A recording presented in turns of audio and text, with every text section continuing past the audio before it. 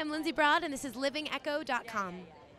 Hi, how are you? Uh, so you're Lindsey Broad, I heard. I, I apparently am. so I hear. And can you talk a little bit about the show that you're on? Yes, I'm on 'Til Death, which is um, it's starring Brad Garrett and Joely Fisher, and I play their daughter Ally. I live in their backyard Cool. in a van. And yeah. I heard your character is pretty darn eco. Pretty We live in a van that is converted to run on vegetable oil that is plastered with um, bumper stickers about recycling. So we, we try, yeah. So personally, do you live any sort of eco lifestyle?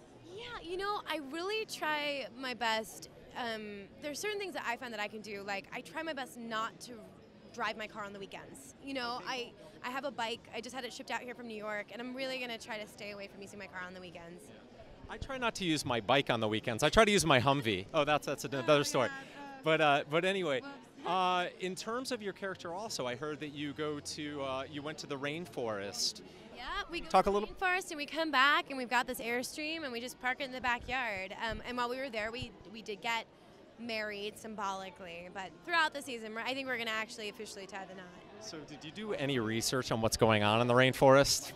No, I believe that we were there more on like a spiritual quest.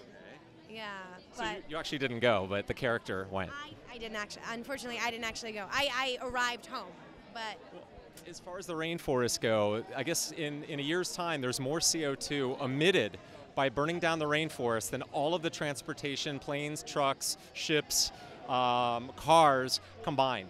There's more CO2 being emitted by the destruction of the rainforest.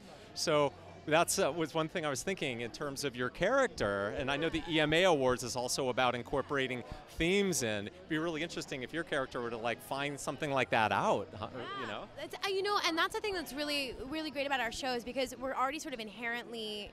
Um, that's sort of inherently who these characters are. It's so easy every week for us to incorporate something different, and I think we're, you know, we make an effort, which is Have you thought of mentioning that? You should do, I- you should really do some research on, on the rainforest. It's frightening.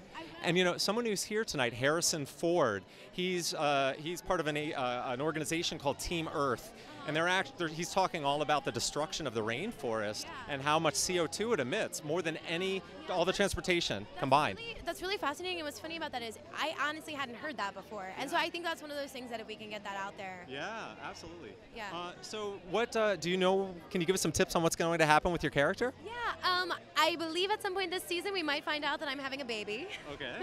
um, I don't know whether it was conceived in the rainforest or not. Oh, um, but rainforest baby. rainforest baby. Um, but yeah, and you know we're we're we're in the backyard, and you know we'll see. We might move into the house. Just hanging out. You know, annoying annoying Brad, annoying Brad Garrett. Cool. You know. And you're up for a comedy award tonight.